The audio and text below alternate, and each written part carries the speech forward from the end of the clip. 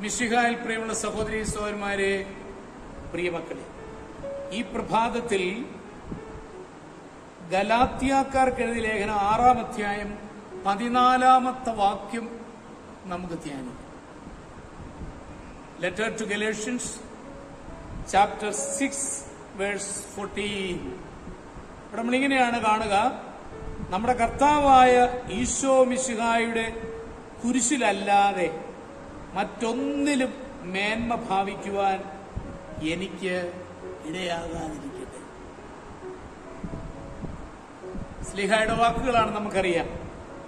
വിശുദ്ധ മറിയം ദൃശ്യ പറയുന്നുണ്ട് ദൈവം തരുന്ന കുരിശാണിത്.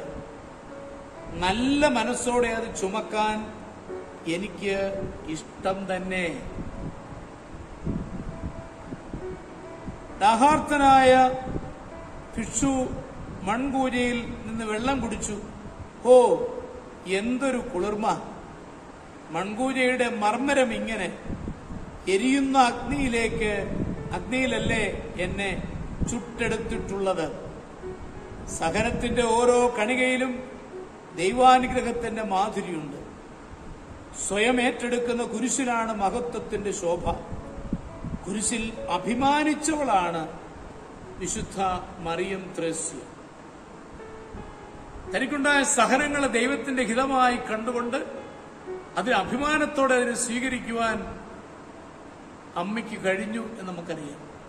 നമ്മുടെ അനുദിന ജീവിതത്തിൽ സഹനങ്ങൾ കടന്നു വരുമ്പോൾ തളരാതെ എന്റെ തമ്പുരാൻ എനിക്ക് തരുന്ന വലിയ കൃപയാണ് സമ്മാനമാണ് ഈ സഹനങ്ങൾ എന്ന ബോധ്യത്തോടെ അതേ ഫ്രാൻസിസ് അസീസിയുടെ വാക്കുകളിൽ സഹനം സ്നേഹ ചുംബനങ്ങളാണ് ഈ ബോധ്യത്തോടെ അവയെ സ്വീകരിക്കുവാൻ നമുക്കും കഴിയണം അതിന് ദൈവം അനുഗ്രഹിക്കുന്നു.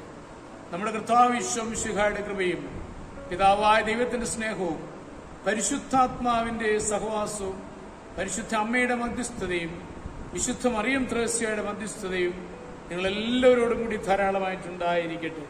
എപ്പോഴും എപ്പോഴും എന്നേക്കും. ആമേൻ.